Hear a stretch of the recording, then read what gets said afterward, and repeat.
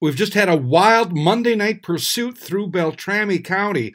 Not a lot of details yet, but it sounds like a, a couple of juveniles forcibly stole a van in the Bemidji area and a uh, pursuit ensued on Highway 71 going north.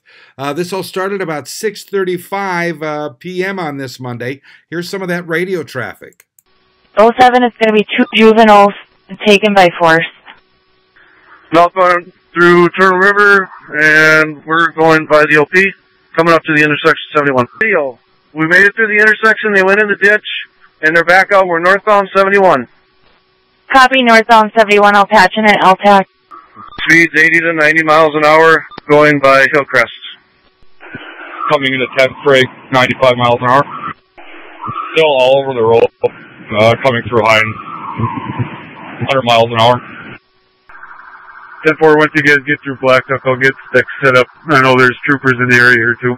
10 4, about a mile north of Hines, still 100 miles an hour all over the road. Well, coming into Black Duck,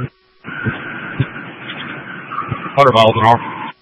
Just approaching the city of Blackduck now, or 100 miles an hour, still northbound, still all over the road.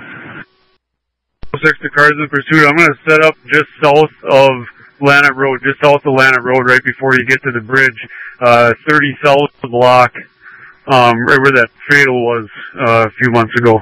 I'll sticks out on the northbound lane. Still northbound, approaching 72, just 100 miles an hour, still all over the road. One tire for sure, one tire for sure. Copy good six. Driver's side flat, both I believe, both tires. All right, I'm going to try pitting here, guys. Beware. Copy that. Roll over, roll over. 38. Advising we have both in custody. Both appear to be okay, but still need to get them checked out. Copy and route. At this time, I believe the both parties are okay, just looking for EMS routine. Now, as you heard, that van rolled. It sounded like they had driven over some stop sticks and had punctured tires. And you heard an officer say he was going to try a pit maneuver. Not sure if he actually did or they lost control and rolled it uh, before that happened uh, north of Blackduck. Uh, no details on the uh, juveniles. It sounded like uh, through radio traffic uh, that they may have been from the juvenile center in Bemidji. we hope to get more information from the sheriff's department. Uh, we'll update this story when we get it. I'm Neil Carlson reporting for iNewZ.TV.